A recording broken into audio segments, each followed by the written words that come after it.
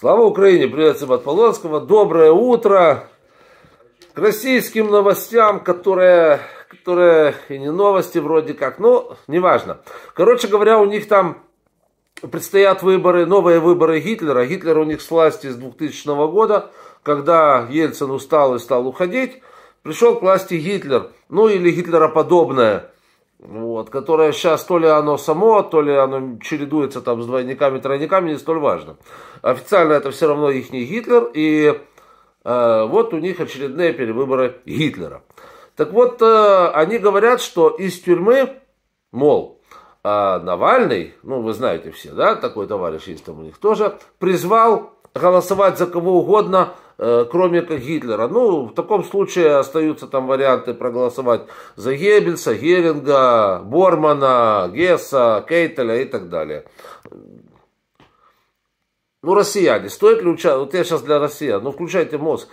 Ну, во-первых, никто из вас не знает, Навальный ли это говорил, и где он находится, и жив ли он, и, ну, смешно даже говорить, да? Вот это, эти выборы это, это фикция. И участвовать в них никакого смысла, конечно же, нет. Есть человек, у которого есть мозг и малейшее, ну, малейшее самолюбие, в этом фарсе, в этом кошмаре, конечно же, участвовать не будет. Потому что выборы без выбора это не выборы. Выборы, на которых все понятно заранее до выборов. Вот когда избирали на вот такая же страна, как ваша Россия, это в свое время было Гаити, Гаити, да, вот там то же самое было у вас. Или папа дог, или бэби дог. Чтоб ты там это самое, если ты будешь сильно вякнуть, тебе еще и голову отрезали бы. Ну, такие на Гаити времена были, да? Вот, по-другому никак. И у вас на России сегодня такая, знаете, дремучая пом, квасная помесь Э, значит, э, Гаити времен папы Дока, Бэби Дока и фашистской Германии. То есть у вас смесь такая гремучая, да, этого всего дела.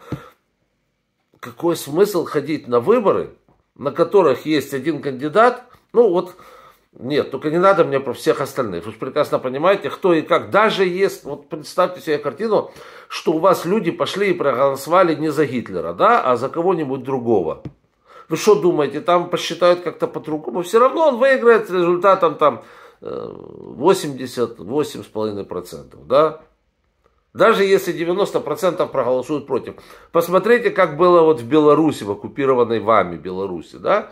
Народ проголосовал за эту, за Тихановскую, причем там с большинством чуть ли не в два раза. А этот чмо, этот э, бульбафюрер, за которого 10 или там, 20% проголосовали, объявил себя победителем с результатом 80%. Э, какой смысл было участвовать в тех выборах? Не, ну тогда еще была, тогда действительно, тогда была надежда, что будут действительно считать. Тогда в Беларуси, когда вот этот бульбафюрер сам себя назначил, да? Тогда была надежда, что будут считать, и, может быть, там, Тихановская станет президентом переходного периода, и потом передаст власть нормальному человеку, а не этому дегенерату, который там у них сегодня находится у власти. Вот. Ну, а он сам себя объявил э, победителем, да, и все, сказал, пошли все к черту, я, я, я, смотрите, у меня усы, я замечательный, у меня есть Коля, и собака, и автомат. И пошли все нахрен. Я красивый. Ну, как президент это, Эфиопии, говорю, нет, не Эфиопии. Эритреи, в Эритрее. Вот видите, пример у вас все один в один. Эритрея, Гаити, Бульбафюрер. Вот, то есть, э, Эритрея тоже там сказал, я красивый, я хороший, посмотрите, я вот замечательный. Все, выборы отменяем, ну их нафиг. Ведь я же красивый, зачем вам кто-то другой? Ну, если не, не ваш Гитлер, так кто же? Если не Путин, так кто же? Да? Вот и все, собственно говоря. Поэтому, конечно же, участвовать ни в каких выборах, а, где никто этих голосов считать никогда в жизни не будет, э, где все равно все подбахлюют. Точнее, уже нарисовали результаты, а, а вы как, понимаете, результаты уже нарисованы, уже, еще полгода у вас там до выборов или сколько. Да, они уже известны заранее, ну так, а смысл ходить и поддерживать своим количеством вот, вот э, этот маразм. Единственное, что может повредить, ну не сильно, но повредит, конечно, вашему этому э, бункерному Гитлеру, это пустые избирательные участки. Потому что вот это будет очень некрасиво, да, когда никого... И все равно нарисуют. Все равно они сгонят, они что сделают? Они возьмут э, курсантов переоденут гражданское, бомжей приведут. где-нибудь снимут, что там будет много народу, типа вот, вот тут трлуются. Видите, вот пришли голосовать, не могут попасть на участок из-за того, что все хотят голосовать. И скажут, что было вот так вот везде, на всех участках. Вот. Но э, множество участков они показать не смогут, просто потому что на всех остальных будет пусто. Курсантов, э, солдат переодетых и бомжей, которых можно собрать в ближайшей пивнухе, ну, не хватит на это все дело. Поэтому мое мнение следующее. Не ходите на эти выборы. Это вообще не выборы.